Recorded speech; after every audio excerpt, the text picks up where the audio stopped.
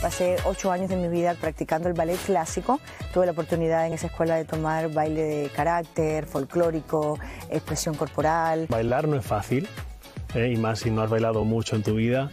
Eh, tiene que ser plena confianza con el bailarín, coreógrafo, dejarte llevar, dejarte aconsejar. No quiero ver personas que, sean, que han intervenido en esto para pasar el tiempo o para ganar, ganar seguidores o pasearse por los pasillos de aquí de Telemundo para ver si alguien lo agarra para otro programita. Yo quiero ver pasión de una manera corporal, una expresión corporal auténtica y genuina, más que la técnica que seguramente Osmel los va a destruir y Tony va a estar fijándose en todo eso, pero me pelearé con ellos en el momento que me tenga que pelear.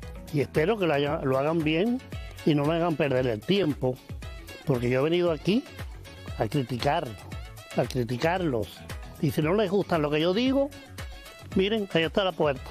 Es un show que a su vez es intenso, pero tampoco es muy largo. Es decir, lo que hay que hacer bien hay que hacerlo desde el primer día y a partir de ahí seguir como en ascendencia. Entonces yo quiero ver bailarines. Lo que he visto hasta ahora hay que como dos o tres que ni siquiera van a comer, que se la pasan horas y horas practicando. Tengo la confianza eh, plena de, de, saber que lo que voy a juzgar va a ser básicamente la excelencia, es decir, el detalle, cada movimiento, cada pie si está bien colocado, cada, cada mano si está bien definida. Pues esto es una competencia, ¿no? Y ahí va a llegar el momento que tenga que decir, este es mejor y este no es tan bueno, o este bailo mejor que el otro, me va a tocar.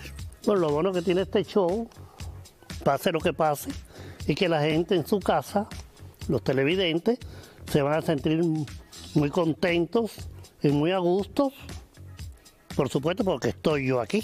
No se confíen porque bailar parece ser muy fácil, pero hacerlo bien es muy difícil. Así que mucho cuidado porque los estoy viendo, porque lo que he visto hasta ahora Mm, mm. Nanay, nanay.